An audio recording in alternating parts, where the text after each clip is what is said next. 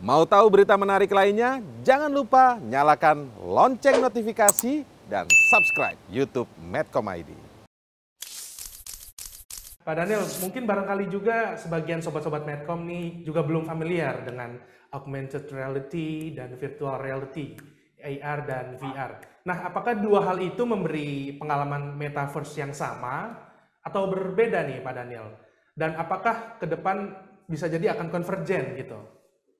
Ya, um, augmented reality dan virtual reality secara prinsip konsepnya itu membawa konten berarti mata kita dalam dalam interaksi yang real ya. Nah, okay. kalau di VR biasanya yang terjadi adalah konten itu datang imersif ke depan mata dan ke blok mata Jadi kita bisa melihat misalnya uh, di Amazon 360 degree, tapi kita ya nggak bisa ke mana-mana. Kita pakai yang namanya Oculus, Oculus VR atau VR jenis yang lain yang di mana kita mat, mata keblok untuk konten kita lihat konten 360 degree tanpa beranjak pak kita.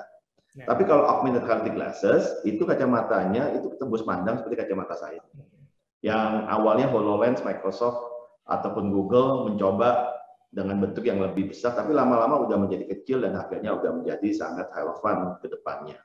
Nah, fungsinya kacamata augmented reality adalah kalau saya bilang ini metaverse yang bisa membawa hidup manusia lebih sociable. Gitu. Jadi dia bisa keluar, dia melihat lingkungan seperti biasanya, tetapi di pandangan dia itu dia melihat bisa meletakkan konten-konten yang bisa menemani dia atau informasi yang bisa membantu dia dalam hidupnya. Contohnya misalnya dia lagi jalan bersama sebuah karakter avatar yang yang memang bisa kasih information ke dia. Eh, semua brand bisa hidup di depan mata dia. Nah, antara AR dan VR ini sebentar lagi nggak akan menjadi dunia yang terpisah sebetulnya. Kalau di dunia metaverse itu dua-duanya akan jadi satu. Kacamata saya dengar terakhir kacamata uh, metaverse tanda petik itu sudah bisa AR jadi VR ditekan lagi jadi AR jadi cuma satu. Oh, okay. um, dan dan ini akan terus bergulir dan kalau ke depannya uh, kita melihatnya bahwa kacamata ini just the beginning sebab yang di yang diserap adalah bagaimana mata kita bisa menjadi tool ke depannya untuk bisa melihat konten secara secara lebih convenient, secara lebih gampang gitu. Tapi AR sama VR will become one atau kedua jadi satu untuk bisa melayani eh, dunia konten atau dunia konten virtual yang baru.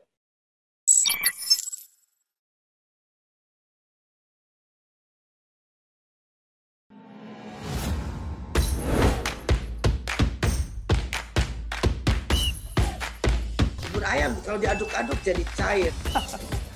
Seriously, aduk kayaknya ya.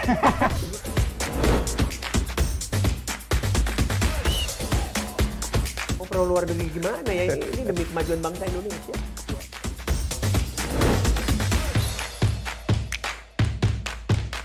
Isu kebangkitan uh, PKI ini uh, dihentikan.